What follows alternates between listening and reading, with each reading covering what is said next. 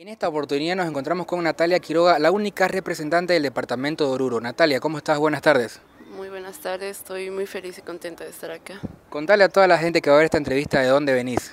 Eh, yo soy Natalia, mi nombre es, perdón, mi nombre es Natalia Quiroga y soy de la ciudad de Oruro.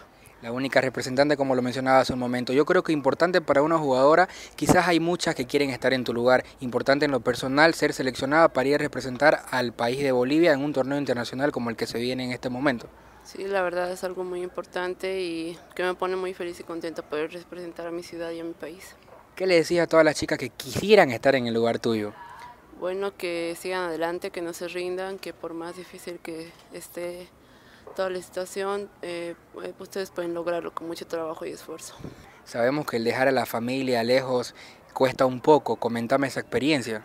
Bueno, sí, al principio me costó bastante porque la verdad soy muy apegada a mi, a mi mamá, a mi papá, pero con su apoyo yo sé que ellos yo, quieren que le llegue lejos y bueno, es muy fundamental también eso.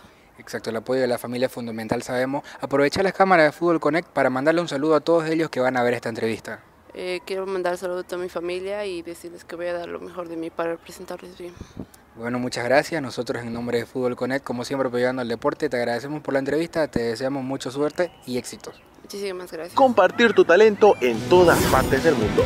Promocionar tus fotos, tus videos, tus jugadas, tus mayores logros, solo aquí en Fútbol Connect.